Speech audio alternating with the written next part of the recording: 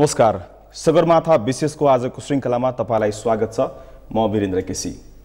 पछिल्लो समय संविधानको पहिलो मस्यौदा प्रस्तुत भएदेखिकै समयलाई हेर्ने हो भने र संविधानको मस्यौदा प्रस्तुत भइसकेपछि जसरी सीमाङ्कन प्रदेश विभाजनहरू भए तत्पश्चातको अवस्था हेर्ने हो भने नेपालमा अहिले त्यो विभाजनका विषयमा फरक धारणाहरू आइरहेका छन् ठाउँ ठाउँमा आन्दोलनहरू भइरहेको छन् र सँगसँगै अहिले संयुक्त लोकतान्त्रिक मधेसी मोर्चाले मधेस बन्दसहितका कार्यक्रमहरू गरिरहेको छ। यसरी हेर्ने हो भने पश्चिमदेखि पूर्वसम्मका विभिन्न भेगमा अहिले आन्दोलनले चरम उत्कर्ष रूप लिइरहेको छ। र यता यही बिचमा सद्भावना पार्टीले आफ्ना सम्पूर्ण सभासदहरूलाई राजीनामा दिला दिलाएको छ। उसले राजीनामा दिएको छ संविधान सभाबाट र उसले भनिरहेको छ कि संविधानको प्रारम्भिक मस्यौदा र संहिताको खाकालाई चार दलका सीमित नेताहरूको स्वार्थ पूर्ति गर्ने एउटा साधनको रूपमा मात्रै प्रयोग गरियो भन्दै संविधान सभाबाट उसले राजीनामा दिने घोषणा पनि गरिसकेको छ। हामी यी लगायतका विषयवस्तुमा कुराकानी गर्नेछौँ र यसका लागि आज हामीले स्टुडियोमा बोलाएका छौँ सद्भावना पार्टीका सहअध्यक्ष लक्ष्मणलाल कर्ण हुनुहुन्छ। हामीसँग कुराकानीको लागि उहाँसँग हामी कुराकानी गर्छौँ। यहाँलाई स्वागत छ। धन्यवाद। सन्चै हुनुहुन्छ? ठिक छु। देशमा त आन्दोलन रूपी सरुवा रोग लागेको छ। सरुवा होइन। मैले अस्ति संविधान सभामा भनेको थिएँ घरमा उज्यालो गर्नको लागि बत्ती बालिन्छ। होइन? पहिले हामी टुक्की बाल्थ्यौँ दियो बाल्थ्यौँ। त्यो दियोले त आगो लगाउन सक्छ घरमा तर दियोले कहिले पनि आगो बुझाउन निभाउन सक्दैन। अहिले यो चारवटा नेताले यो देशमा उज्यालो पाउने अहिले अवस्था त मान्छे खुसियाली हुनु पर्थ्यो। देशमा संविधान आउन लाग्यो। भन्ने कुरामा देशमा आगो लगाउने के त यो चारजना नेता हुन्। र जुन दियोले यो देशमा आगो लगाएको छ त्यसले निभाउन सक्दैन। निभाउने यदि यिनीहरूसँग तागत भइदिएको भए कुरा गर्नलाई सम्पूर्ण जनता हामीहरू साथमा छ भन्छन्। तर एकजना चारजना मध्ये कुनै पनि जुन ठाउँमा भइराखेको छ आन्दोलन त्यहाँ गएर सम्झाउन सकेका छैन हिम्मत छैन जाने। त्यसकारण आगो निभाउने तर उहाँले त सीमाङ्कन परिमार्जन गर्छौँ हामीले यसरी आन्दोलन नगर्नुहोस् भनेर त पटक पटक भनिरहनु भएको छ नि। उहाँको अति कति अविश्वास रहेछ भने उहाँलाई भोट दिएको जनताले नै उहाँहरूलाई पत्याएको छैन। यदि त्यस्तो भइदिया भए त आज सारा आन्दोलन शान्त हुन्थ्यो। उहाँहरूले पटक पटक भनिराख्नु भएछ र पटक पटक आन्दोलन तीव्र भइराखेको रहेछ त्यसकारण उहाँहरूको शक्ति बाहिर छ। र यो शक्ति उहाँहरूमा जबसम्म आउँदैन उहाँहरूले व्यक्तिगत स्वार्थ छोडेर समग्र देशको जनता त्यो मधेसी होस् जनजाति होस् थारू होस् मुस्लिम होस् दलित होस् महिला होस् यो सबको अधिकार यो देशमा सुनिश्चित गर्नुपर्छ भन्ने कुरा। जबसम्म उहाँहरूको सोचमा आउँदैन जबसम्म कुर्सीको खेल उहाँ छोड्नुहुन्न जबसम्म उहाँहरूले एउटा ठुलो देशको नेता बन्न सक्नुहुन्छ। आज उहाँहरूले लगाएको आगो निभिने अवस्था छैन। अब एकातर्फ मधेसमा आन्दोलन भइरहेको छ है। यो बिचमा तपाईँहरूले संविधान सभाबाट परित्याग गर्ने भनेर भन्नुभएको छ। आज तपाईँहरूले राजीनामा बुझाउने भन्नुभएको थियो भोलै बुझाउनु भएको रहेनछ। के हो तपाईँ आत्मसमर्पण गर्न खोज्नु भयो त के बताउन खोज्नु भयो तपाईँहरूले राजीनामा दिएर? दुईवटा कुरा के रहेछ भने प्रथम कुरा त हामीले सोह्र बुँदेलाई नै असहमति गऱ्यौँ त्यसको मूल कारण के थियो भने हामी संविधान सभाबाट संविधान निर्माण गर्दैछौँ भने चारजना नेताले एक ठाउँमा बसेर जुन संविधानका प्रिन्सिपल एस्टेब्लिस गर्छन् विषय वस्तु एस्टेब्लिस गर्छन् यो कहीँ पनि कुनै प्रक्रियाले कहीँबाट पनि मिल्दैन। र त्यो विषयवस्तु जुन लाए त्यो विषयवस्तु पनि गैर संवैधानिक लाए त्यसको हामीले विरोध गऱ्यौँ। त्यसपछि फर्स्ट ड्राफ्ट लाए फर्स्ट ड्राफ्टमा हामीले विरोध गऱ्यौँ सम्पूर्ण मधेसको जनताले विरोध गरे त्यो ठाउँमा केपी ओलीजीलाई हुटिङ भयो त्यो ठाउँमा सिराहामा प्रचण्डजी आधी घन्टाभन्दा बढी बस्न सक्नु भएन रौतहटमा माधवजी एक घन्टाभन्दा बढी बस्न सक्नु भएन त्यसपछि पनि आएन बुद्धि आएन बुद्धि सप्रेन। हामीले ठाउँ ठाउँमा आफ्नो नोट अफ डिसेन्ट दियौँ।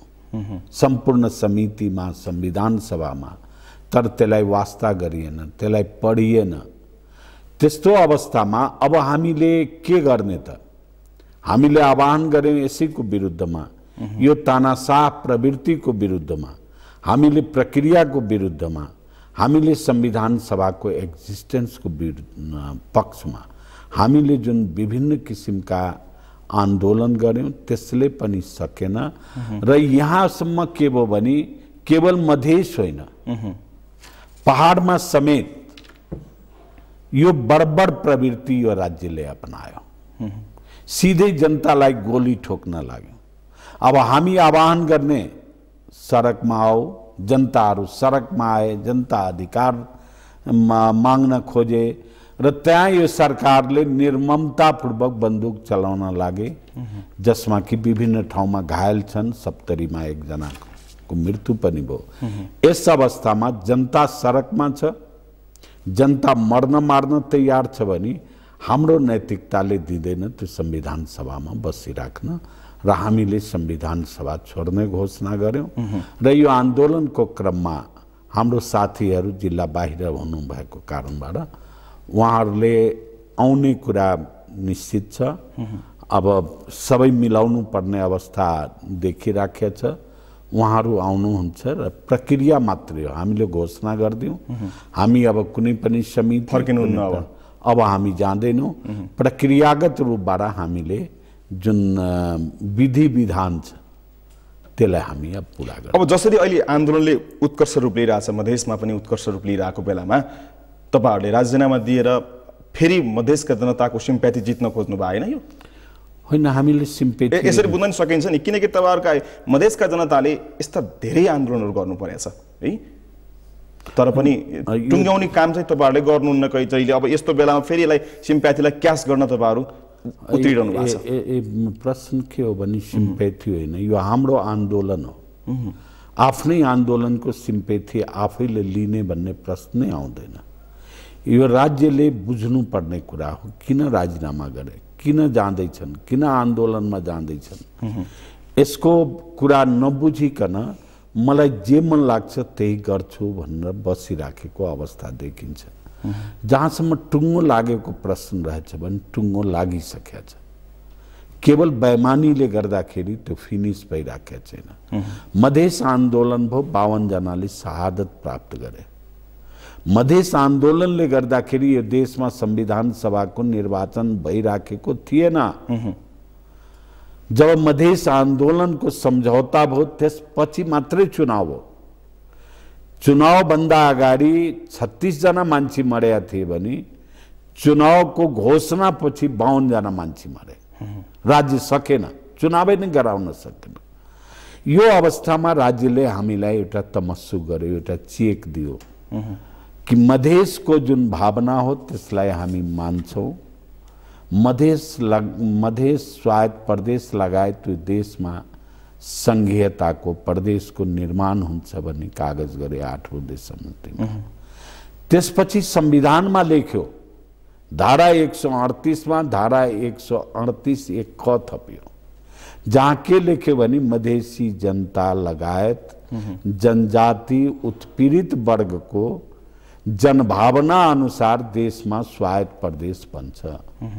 बडो क्लियर लेखिराखेको छ खोइ त मधेसी यो यो कोडेकोमा मधेसी खोइ त? यो कोडेकोमा जनजाति खोइ त? महिला खोइ त? जसले जसको भावना अनुसार बन्ने हो प्रदेश त्यो सीमाङ्कन कोडिन्छ भने त्यसमा बस्दैन भने।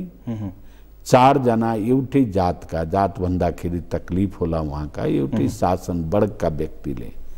कोही अहिले शासन गर्ने कोही भोलि शासनको आफ्नो भागभन्दा छुट्याइकन जे मनमा लागे त्यही गर्छन् भने। तर त्यसमा त तपाईँहरूकै एकजना नेता पनि हुनुहुन्छ नि तपाईँहरूकैतिरको नेता पनि हुनुहुन्छ नि होइन? उहाँले त सोच्नुपर्ने हो नि त उसो भए। उहाँले के गर्नुहुन्छ त्यो कुरा मैले भने होइन। मधेस आन्दोलन हुँदाको अवस्थामा नबिर्सनुहोस् त्यसलाई पनि सम्झिराख्नुहोस्। मधेस आन्दोलन हुँदाखेरि तिनवटा पार्टी थियो। जसले संयुक्त आन्दोलन गरे। त्यो थियो तराई मधेस लोकतान्त्रिक पार्टी मधेस जनाधिकार फोरम नेपाल र सद्भावना पार्टी। यो तिनवटा पार्टीले मात्रै गरे हो। अहिले जसको चर्चा गरिराख्नु भयो त उहाँ त नेपाली काङ्ग्रेसमा हुनुहुन्थ्यो। अब के छ भने तिनजनाको कुरालाई समर्थन गरिदिनु भयो भने यही पक्का मधेसिया हो यही पक्का जनजाति हो भनेर कसैले भन्छ भने म इन्कार गर्दैन उहाँ पक्का नै हुनुहोस् पक्का मधेसी बन्नुहोस् पक्का जनजाति बन्नुहोस् तर उहाँले मधेसको भावना र जनजातिको भावना यहाँसम्म कि थारू जातका उहाँ हुनुहुन्छ भने थारूको भावना समेट्नु भएको छ आज थारूले त्यत्रो आन्दोलन गरिराखेका रहेछ कसको विरुद्धमा यही चारवटा नेताको विरुद्धमा भन्दाखेरि थारूहरू पनि प्रसन्न छैनन् भने त्यस अवस्थामा अब चारवटा भन्नुहुन्छ भने मैले यसो हेर्दाखेरि वास्तवमा काम गर्ने तिनजना मात्रै हो र जुन किसिमको काम भइराखेको छ यो देशमा आगो लगाइयो यसलाई सम्मप गर्ने कहीँ पनि प्रयास छैन र राज्यको एक्टिभिटी हेर्नुहुन्छ भने राज्य बिल्कुल तानासाह इदी अमिन बनिराखेको रहेछ इदी अमिनको प्रवृत्तिबाट गोली चलाउन पाउँछ जनतामाथि गोली चलाउनुभन्दा प्रहरी चौकी नै आक्रमण गर्न गएपछि त सुरक्षाको लागि आत्मरक्षाको लागि त गर्नु पर्ला नि। सरकारी सम्पत्ति त जोगाउनु पर्ला नि? बिल्कुल ठिक भन्नुभयो तपाईँले। यो आत्मरक्षा खालि प्रहरीको हुन्छ जनताको त आत्म गृहमन्त्रीले त्यसै जवाब दिइरहनु भएको छ संसदमा। गृह मन्त्रीले के भन्नुहुन्छ भने गोली ठोक्नेको जवाब त्योभन्दा बढी केही हुनै सक्दैन। जब तपाईँले प्रदर्शनकारीलाई समातिकन प्रहरी चौकीमा लगेर रातभरि कुट्नुहुन्छ भने बिहान त्यहाँको जनताले के गर्छ? त्यहाँको प्रहरीलाई फुलमाला लिएर गएर स्वागत गर्छ बडा राम्रो गर्यो हाम्रो नेतालाई कुटिदियो। त्यहाँको जनताले गर्ने त्यही हो जसले आफ्नो नेतालाई कुट्न आफ्नो आँखाले देखेका छ संसारमा कुनै पनि कानुनले कुनै पनि संविधानले मान्छेलाई समातिसकेपछि कुट्ने पर्मिसन दिँदैन चोर डाकालाई पनि कुट्ने पर्मिसन दिँदैन ज्यान मार्नेलाई पनि उसलाई कानुन बमोजिम कारवाही गर्नुपर्ने हुन्छ कुट्ने प्रवृत्ति हुँदैन भने जहाँ त्यस किसिमबाट रातभरि कुटिन्छ भने गाली गरे के के छ म यसले बोल्न चाहदिनँ। एउटा कम्युनिटीको नाम उल्लेख गरिकन त्यहाँ कुटपिट गरिन्छ भने त्यो कम्युनिटी निश्चित रूपबाट गएर त्यहाँ आगो लगाउँछ। जसले उसको कम्युनिटीलाई गाली गर्छ जसले त्यस कम्युनिटीको इज्जत गर्दैन सम्मान गर्दैन त्यो कम्युनिटीमा उसलाई थाना चौकी बस्ने अधिकार पनि हुँदैन। यो घटनाक्रमलाई हेर्ने हो भने त देश कता जाँदैछ? यो त बडो गम्भीर कुरा भयो है। जस्तो तराईमा यस किसिमको हिंसा भइरहने पश्चिममा पनि त्यस्तै अवस्था भइरहने र तपाईँहरू अब जहाँ छलफल गर्नुपर्ने निकास दिनुपर्ने ठाउँबाट चाहिँ खुट्टा निकालेर बाहिर जाने। अब देश निकास दिने कसले त उसो भए? होइन? छलफल छलफलमा त हामीलाई यिनीहरूले के हुन्छ भने कहिलेकाहीँ मातिन्छ मान्छे मसँग नब्बे भयो तिरानब्बे पर्सेन्ट भयो कोही नब्बे भन्छ तिरानब्बे पन्चानब्बे पर्सेन्ट भयो भने त्यसैलाई लिएर माते। त्यो अफिमले यिनीहरूलाई बर्बाद गरे जनताले जुन अफिम खुवाइदियो यिनीहरूलाई विभिन्न आशामा विश्वासमा जुन अफिम यिनीहरूले खाए त्यसले बोलाए। जब देशको ड्राइभर नै पाइलट नै बोलाउँछ भने त्यो गाडीको के हुन्छ त्यही अवस्थामा यो देश पुग्यो हो कोही हामीसँग संवाद खोइ अन्तरिम संविधान बनाउँदाको अवस्थामा विगतको क्रान्ति र आन्दोलनलाई संस्थागत गर्नको लागि संविधान सभाबाट संविधान बनाउँछु भन्ने प्रस्तावना होइन। आज आएर जब भन्छन् कि अब यो देशमा आन्दोलनै भएको छैन कुनै क्रान्ति नै भएको छैन। अनि सिद्धिएन आन्दोलनमा मर्ने मान्छेहरूको भावना क्रान्ति गर्नेहरूको भावना त्यस्तो अवस्थामा यो देशमा हुने त्यही हो। आज पनि विगतको आन्दोलन क्रान्तिको भावनालाई आ, अन्तरिम संविधानले सुनिश्चित गरेको अधिकारलाई र त्यसपछि हामीले संविधान सभामा दोस्रो संविधान सभामा निमावली बन्यो। त्यसमा म पनि थिएँ। निमावली बनाउँदाखेरि हामीले के एक्सेप्ट गरे भने पूर्व जुन संविधान सभा हो त्यसमा सहमत भएको विषय सहमत कटअप। त्यो अब ड्राफ्ट नै हुन्छ त्यसमा फेरि छलफल हामी गर्दैनौँ। त्यसलाई पनि उल्टाइराखेका रहेछ।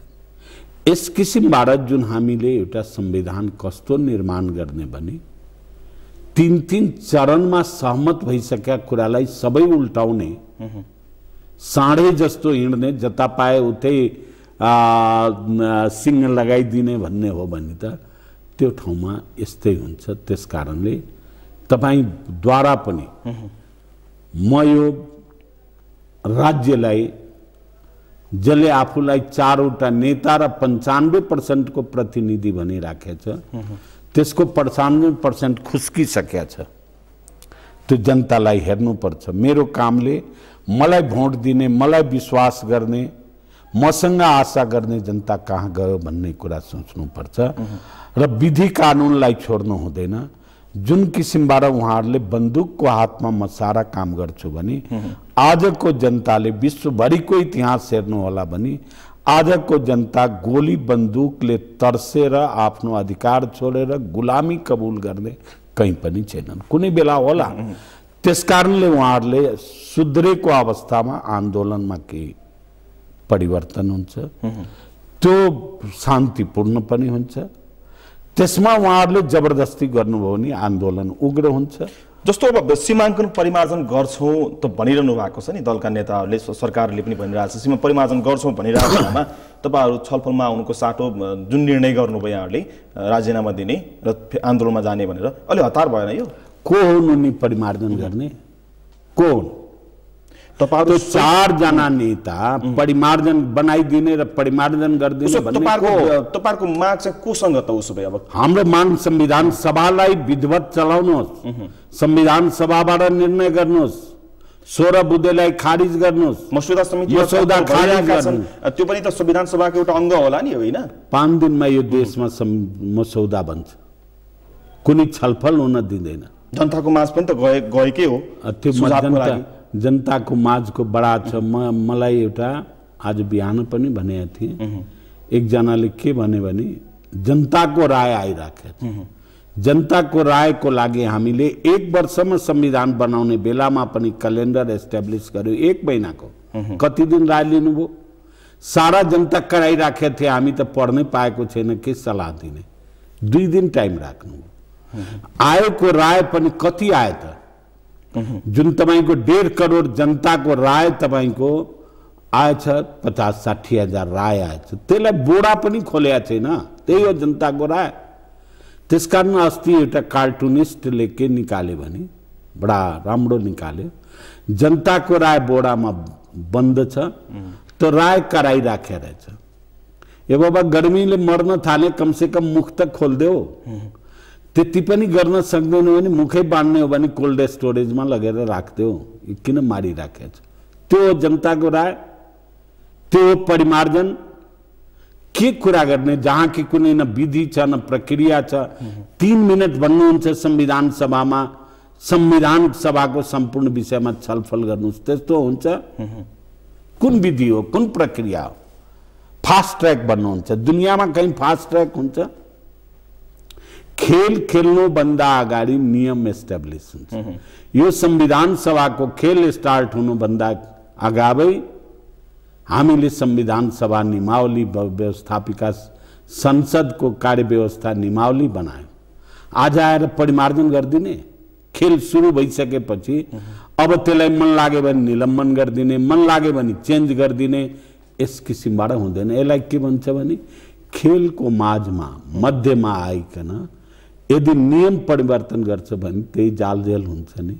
त्यही जालझेलको परिणाम आज तपाईँ पाइराख्नु भएको छ। त्यस कारणले हामीले के भनेको छौँ भने केही पनि गर्नु पर्दैन। यो ड्राफ्ट हटाउनुहोस्। जुन तपाईँले सहमति गर्नुभयो विभिन्न पक्षसँग त्यसलाई राख्नुहोस् अन्तरिम संविधान राख्नुहोस्। आयोगले विशेषज्ञले रिपोर्ट दिइराखेको छ लियाऊ हामीले त्यसलाई राख्नुहोस्।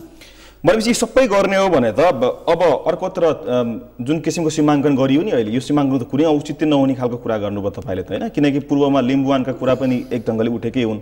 अखण्डको कुराहरू पनि त्यति बेला उठेकै थिए। अब थरवटको अ, थरवट प्रदेशका कुराहरू पनि उठेकै थिए भनेपछि अहिले गरिएको सीमाङ्कनको कुनै अर्थ छैन। उसो। एउटामा कुरा अखण्ड भन्नुहुन्छ भने दुनियाँमा अखण्ड एउटै हुन्छ राज्य। देश हुन्छ अखण्ड। प्रदेश पनि अखण्ड हुन्छ। यस किसिमको कुरा कुनबाट कुन बेला उठ्यो अखण्ड? जब प्रतिवेदन आयो विशेषज्ञहरूले एउटा प्रतिवेदन दिए दस प्रदेशको त्यसपछि केही नेताहरूले मेरो जिम्मेदारीमा असर पर्ने भयो मेरो वीरतामा असर पर्ने भयो भने गराएको होइन। चार दिन आन्दोलन गराएर प्लेनबाट लाएर आफैले आन्दोलन गराउने आफैले प्लेन भरेर लाउने र आफैले सहमति गरेर आज अखण्ड अखण्डको कुरा गर्ने। त्यो त त्यो क्षेत्रका जनताले त भन्न पाउनुहुन्छ होला नि आफ्नो क्षेत्र अखण्ड बनोस् भन्न नपाउने त्यहाँका जनताले। जनता किन। अखण्ड किन भन्ने त? मेरो थलो जुन हो यस किसिमबाट होस् भन्ने अखण्ड भन्ने। अखण्ड भन्नुको पछाडि नियत के हो भने सङ्घीयता नबनोस्। जब अखण्ड नै राख्ने हो भने देशै अखण्ड हो नि। अनि प्रदेशको के जरुरी छ? अखण्डताको पछाडि अब त्यसपछि सुदूर पश्चिम अखण्ड मध्य पश्चिम अखण्ड पूरब अखण्ड अहिले के आयो भने विकास क्षेत्र बनाइदियो न पाँचवटा सबै अखण्ड भइहाल्छ भने यो प्रदेशको यो प्रदेश बनाउने संहिताको कुनै सिद्धान्त हो? कुनै सिद्धान्तमा आधारित छ? संहिताको मूल सिद्धान्त के हो भने self ruled and share ruled आफ्नो ठाउँमा आफू शासन गर्ने केन्द्रमा सबै मिलिकन शासन गर्ने यही न रुल हो। जब अखण्डै अखण्ड हुन्छ भने त अखण्ड देशै राखे त सबभन्दा राम्रो कस्तो पनि? विश्लेषण गर्न थालियो भने जताकति अखण्डका कुराहरू आइराख्दाखेरि देशमा सङ्घीयता चाहिएको थिएन कि जबरजस्ती सङ्घीयताका मुद्दाहरू ल्याइयो कि भन्ने पनि विश्लेषण हुन लागेको छ। बिल्कुल। भएको छ होला नि तपाईँले बिल्कुल ठिक भन्नु कहिले काहीँ के हुन्छ भने बच्चाहरूले खाना खाँदैनन्। आमाले घुमाई घुमाई तपाईँलाई पनि भयो होला मलाई पनि भयो होला। हामी पनि आफ्नो बच्चालाई गरेको देख्यौँ होला। जबरजस्ती खुवाइदिन्छ। ए दिनभर त खाएन यसलाई खुवाइदिन्छ। अनि बच्चाले के गर्छ भने भोमिट गरिदिन्छ। यो के हो भने सङ्घीयता त मधेस आन्दोलनकै दबावमा स्वीकार गरे। न यो काङ्ग्रेसले मान्या हो न एमाले मान्या हो न माओवादीले मान्या हो। जबरजस्ती त मुखमा हालियो। आज भोमिट गरिराखेका छ त्यति हो। तपाईँले जुन भन्नुभयो। यो भोमिट हो। तर यो देशलाई सबल बनाउने हो मजबुत बनाउने हो। सबैको यो देश बनाउने हो सबैको अधिकार सुनिश्चित गर्ने हो। राज्य सञ्चालनमा सबैलाई समावेश गर्ने हो भने सङ्घीयतादेखि बाहेक त्यसबाट फर्किने अब कुनै बाटो छैन। जुन विश्लेषकले भनिराखेको छ त्यो त्यही विश्लेषक हो। अब के हुनु पर्ला अब सीमाङ्कन अ, को विषयमा जुन तपाईँहरू अब फरक मत राख्नु भएको छ प्रारम्भिक मस्यौदाका विषयमा पनि यहाँहरूको फरक मत रहिआएको छ। अब के हुनुपर्छ तपाईँहरूको भनाइअनुसार? हेर्नुहोस् र यति राम्रो छ कि पछिल्लो समयमा सङ्घीयतामा चौध प्रदेशको खाका बहुमतले लाए राज्य पुनर्संरचना समितिले। त्यसलाई काङ्ग्रेस एमाले मान्दैनौ भने। एमाले त स्वीकारै गरेर आएको थियो। तर पछि आएर उसले पनि काङ्ग्रेसको भाषा बोल्न थाल्यो। र त्यसपछि उहाँहरूले के भन्नु भने अन्तिम अवस्थामा यो संविधानमा लेखिया छ राज्य पुनर्संरचना आयोग बनाउने यो जबसम्म बन्दैन तबसम्म हामी मान्दैनौँ। अनि राज्य पुनर्संरचना आयोग बनाए जसमा काङ्ग्रेस एमाले माओवादी मधेसवादी सबैले दिएको प्रतिनिधि बस्यो। त्यसले टु थर्डबाट जुन राय दियो दस प्रदेश एउटा गैर भौगोलिक प्रदेश। त्यसको भ्रूण हत्या गरिदिए। त्यो आएकै छैन यो मान्दैनौ मान्दैनौ भने होइन यही काङ्ग्रेस एमाले यस्तो अवस्थामा अब के खोज्नु पर्यो त एक्सपर्ट खोज्नुहुन्छ भने एक्सपर्टको राय छ तपाईँसँग। संविधान सभा भन्नुहुन्छ भने संविधान सभाले को समितिको राय रहेछ त्यसलाई राख्नुहोस्। त्यसलाई एक दिन बसाल्नुहोस् कुनै अझ एक्सपर्ट बसाल्नुहोस् यो सबैको सिद्धान्त अनुसार कस्तो बन्दो रहेछ भन्ने कुरा राख्नुहोस् र निकालिदिन्छ नि। हामीले गहुँ लगेर मिलमा राखिदियौँ भने त पिठो आउँछ नि। अझ बेसन बनाउनु छ भने बेसन पनि आउँछ। त्यस कारणले के रहेछ भने इच्छा नै छैन। उहाँहरूले फर्कनु भयो अब। उहाँहरूले फेरि त्यो प्रशासनिक ढाँचा विकास क्षेत्र अञ्चलको ढाँचातिर जानुभयो। त्यसले गर्दाखेरि यो देशमा जसले सङ्घीयता खोज्या हो मधेसी जनजाति दलित त्यो कहीँ पनि सन्तुष्ट छैन। यहाँसम्म कि म तपाईँलाई भन्छु हामी खस भन्दाखेरि कसै कसै खसलाई दुखी पनि होला स्वाभाविक हो। राज्य सञ्चालन गर्ने खस रहेछ भने खस पनि दुखी छन्। त्यसकारण यो जबरदस्ती गरिराखेका के हो भने केही व्यक्ति खसमा पनि केही व्यक्तिहरू केही समुदायहरू जसको हाली मुहाली राज्यमा छ जो ब्युरोक्रेसीमा छ जो सेनामा छ जो प्रहरीको अप्पर अवस्थामा छ त्यसको मात्रै हो नभए त जुम्लाले आज त्यत्रो प्राणै दिने जुम्लाको जनताले गर्नुपर्ने अवस्था त थिएन। त्यहाँ पनि खस्यो भने ठिक छ अब अलिकति मधेसका विषयमा कुराकानी गरौँ है। सद्भावना पार्टी भन्ने बित्तिकै सबभन्दा पुरानो मधेसमा राजनीति गर्ने पहिचान पाएको पार्टी गजेन्द्रनारायण सिंहदेखि यहाँ आजसम्म आइपुग्दाखेरि सद्भावनालाई उसको चुनाव चिन्हकै कारणले पनि अपनत्व महसुस गर्ने थुप्रै छन् होला। तर विभिन्न चरणका जसरी आन्दोलन हुँदै गए मधेसमा आन्दोलन हुँदै गए मधेसका जनताहरूको शहादत प्राप्त हुँदै गयो नि त्यसबाट जुन उपलब्धि संस्थागत गर्नु पर्थ्यो त्यसो गर्न तपाईँहरूले सक्नु भएन। यो पछाडिको कारण भनेको तपाईँहरू नै हो भने भन्न सक्ने थुप्रै आधारहरू छ नि। किनकि तपाईँहरूमा मधेसमा यति धेरै दल बन्यो कि अब तपाईँहरू चुनावका बेला मात्रै त्यहाँका जनता हुने अरू बेला चाहिँ तपाईँहरू राजनीति गर्ने एउटा थलो मात्रै बनाइदिनु भयो होइन? यो शाश्वत सत्य हो नि। दुईवटा कुरा के रहेछ भने मधेसमा धेरै पार्टी भयो भने चिन्ता गर्ने। फिफ्टी वान पर्सेन्ट त मान्छे त्यहाँ पनि छ नि। यदि मधेसका पार्टी निकालिदिने हो भने पहाडका कतिवटा पार्टी रहेछ। कहिले चिन्ता गर्नुभएको छ कहिले चर्चा गर्नुभएको छ? होइन भन्न खोजेको जस्तो मैले मैले मैले मैले मैले सिद्ध्याएँ कहिले चिन्ता गर्नुभएको छ? बहुवाद हामी अपनाइरहेका छौँ भने पार्टी बढ्नु घट्नु मिल्नु यो स्वाभाविक प्रक्रिया हो। होइन जनताका मुद्दा भन्दा पनि तपाईँहरू बढी सत्ताको वरिपरि घुमिदिनु भयो नि। टुक्रिँदै जानुभयो तपाईँहरू। जनताका मुद्दा स्थापितै गर्न सक्नु भएन तपाईँहरू कमजोर। हो म तपाईँलाई त्यही कुरा भनिराखेको छु अलिकति लामो गरिदिएँ। तपाईँ छुट्याउन खोज्नुभयो। हामीले आन्दोलनको निष्कर्ष पुर्यायौँ। राज्यमाथि यो बैमान राज्यमाथि विश्वास गऱ्यौँ अघि मैले भने कि तमस्सुक गराएर हामी विश्वास गऱ्यौँ यसको तमस्सुक त गरे तमस्सुक गर्ने नै पैसा लिया छैन भन्न थाल्यो। चेक दियो हामीलाई तर यसको चेक बााउन्स भएर गयो। यसले परि भएन यो सत्तामा जाँदाखेरि हुँदैन पोलिटिकल पार्टी सत्तामा गयो भने गल्ती गर्ने प्रचार गर्ने त दुई सौ पचास वर्षदेखि कसले शासन गरेका छ अडतालिस सालदेखि यता कसले शासन गरेका छ सबभन्दा बढी त दोषीको जो शासन चलाउने त्यो कति शासन गरे मधेसीहरूले मधेसी शासन गरे मधेसी मन्त्री भए भने ज्यादा पीडा हुँदो रहेछ यी बर्मलुट वो जस्ता बेचे त्रिपाल बेचे कसैले चिन्ता गरेका छ त्यो ठाउँमा आज मधेस भइदिएको भए त आगो बाल्थे। यो अलग कुरा हो। राजनीतिक पार्टी बन्छ भने सत्तामा पनि जान्छ। राजनीतिक पार्टीले महन्तमा बन्छु मन्दिरमा गएर त्यो बन्दैन। र त्यसमा कमी कमजोरी भयो होला। पार्टी फुट्दाको अवस्थामा हुँदै भएन भन्ने कुरा पनि भन्दिनँ म। भयो होला जुन स्वाभाविक हो। हुन्छ। तर त्यतिले गर्दाखेरि आज सबै मधेसवादी पार्टीहरू त इस्युमा लागेका छ र म के भन्छु भने सबै दललाई मधेसी दललाई आन्दोलनकारीलाई यो वैमान्य राज्यको अब तमसुकमाथि विश्वास नगर्नु। यसको चेकमाथि विश्वास नगर्नु। जसको चेक एकचोटि बाउन्स हुन्छ उसँग चेकमा कारोबार हुँदैन क्यासमा कारोबार हुन्छ। अब यो आन्दोलनको अन्त भयो भने यो तमसुकमा र चेकमा हुँदैन अब क्यासमा हामीले अन्त गर्छौँ। भन्नाले चाहिँ अब के के भए चाहिँ टुङ्गाउनुहुन्छ तपाईँहरू? हाम्रो जुन डिमान्ड हो त्यो डिमान्ड लेखाएर हामीले गर्छौँ संविधान संविधानमा लेखाएर गर्छौँ। हामीले कसैले त सम्झौता गरेर हामी मान्दैनौँ।